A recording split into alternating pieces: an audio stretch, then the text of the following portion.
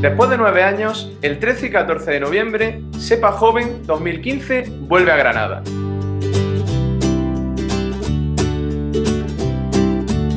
Ciudad universitaria en la que se respira una mezcla de ciencia, cultura y diversión de primer nivel.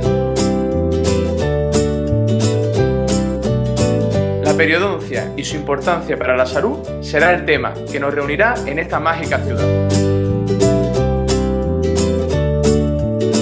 Contamos con los mejores ponentes y os esperamos a todos vosotros para hacer de esta cita algo inolvidable.